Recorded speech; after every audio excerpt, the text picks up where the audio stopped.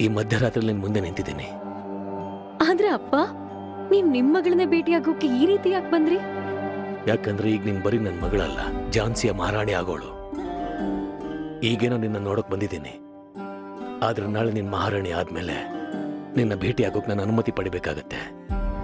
ಅಲ್ವಾ ಮಹಾರಾಣಿ ಅವರೇ? ಅಪ್ಪ ಯಾಕೆ ಯಾವಾಗ್ಲೂ ಹೀಗೆ ತಲೆ ಬಗ್ಗಿಸ್ತೀರಾ? ನನಗೆ ಇಷ್ಟ ಆಗಲ್ಲ ಗೊತ್ತಾ?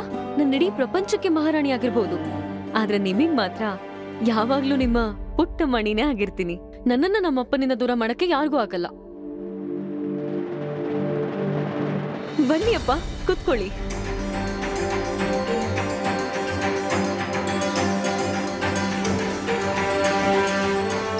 ಸರಿಯಾಗಿ ಕುತ್ಕೊಳ್ಳಿ ಅಪ್ಪ. ಇಲ್ಲ ಪರವಾಗಿಲ್ಲ. ಅಪ್ಪ ನನಗೆ ಹೇಗನ್ಸ್ತಿದೆ ಅಂದ್ರೆ ನಿಮ್ಮನ್ನ ತುಂಬಾ ದಿನದಿಂದ ನೋಡಿಲ್ದಿರೋ ಹಾಗಿದೆ. ನನಗೂ ಕೂಡ ಏನಾಯ್ತು ಮಗಳೇ? ನಾನಿಲ್ಲಿಗೆ ಬಂದು ಇನ್ನು ಒಂದಿನ ಕೂಡ ಆಗಿಲ್ಲ. ಆದ್ರೆ ನಮ್ಮಪ್ಪನ್ ನೋಡಕ್ಕೆ ಯಾಕಿಷ್ಟು ಕಾತರ ಆಗ್ತಿದೆ? ಇನ್ನು ಇಡೀ ಜೀವನ ನೀವಿಲ್ದೆ ನಾನು ಹೇಗ್ ಬದುಕ್ಲಿ? ಹೇಳಿ ಅಪ್ಪ. ನಾನು ಯಾವಾಗ್ಲೂ ನಿನ್ ಜೊತೆಲಿದ್ದೀನಿ ಮಗಳೇ.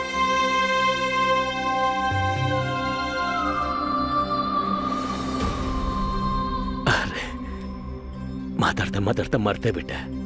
ನಾನು ನಿನಗೆ ಅಂತ ನಿನ್ನ ಇಷ್ಟದ ಹಣ್ಣನ್ನ ತಗೊಂಡ್ಬಂದಿದ್ದೀನಿ ನಿಜವಾಗ್ಲೂ? ಮಾವ?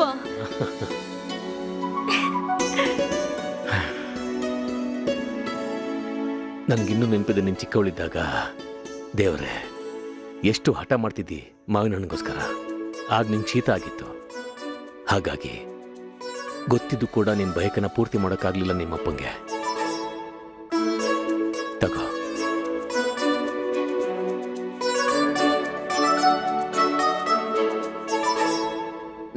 ಅಪ್ಪ ಅರೆ ನನ್ನ ಇಷ್ಟಗಳು ನಿಮ್ಗಿಂತ ಹೆಚ್ಚಾಗಿ ಯಾರಿಗೂ ಗೊತ್ತಾಗಲ್ಲ.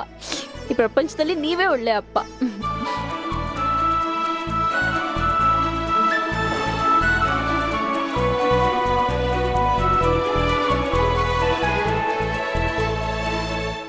ನಿನ್ ಕೋಣೆ ಇದೆನಾ? ಅಪ್ಪ ನನ್ನ ಮನ್ಸೆಲ್ಲ ನಮ್ಮ ಪುಟ್ಟ ಮನೆಯಲ್ಲೇ ಇದೆ. ನಿಮ್ಗ್ ಗೊತ್ತಪ್ಪ? ಎಷ್ಟು ದೊಡ್ಡ ಅರಮನೆನೋ ಅಷ್ಟೇ ದೊಡ್ಡ ದೊಡ್ಡ ವಸ್ತುಗಳಿವೆ. ಎಲ್ಲ ದುಬಾರಿನೇ. ಯಾಕೆಂದ್ರೆ ವಿದೇಶದಿಂದ ತರಿಸಿದಾರಲ್ವಾ? ಮತ್ ನಿಮಗೆ ಕೇಳಿ ಆಶ್ಚರ್ಯ ಆಗ್ಬಹುದು. ತಾಯಿ ಸಾಹೇಬ ನಮ್ಗೋಸ್ಕರ ಎಷ್ಟು ದೊಡ್ಡ ಔತಣ ಏರ್ಪಡಿಸಿದ್ರು ಅಂದ್ರೆ, ಆ ಔತಣ ನಮ್ ಇಡೀ ಪಿಟೂರ್ ತಿನ್ಬೋದಾಗಿದ್ದಷ್ಟು. ಆದ್ರೆ ಅಪ್ಪ, ಬಿಟ್ಟೂರ್ನಲ್ಲಿ ನಾನು ಸ್ವತಂತ್ರವಾಗಿ ಪಕ್ಷಿ ಹಾಗೆ ಹಾರಾಡ್ಕೊಂಡಿದ್ದೆ. ಆದ್ರೆ ಇಲ್ಲಿ ಎಲ್ಲೇ ಹೋಗ್ಬೇಕು ಅಂದ್ರೂ ಅನುಮತಿ ಪಡಿಬೇಕು.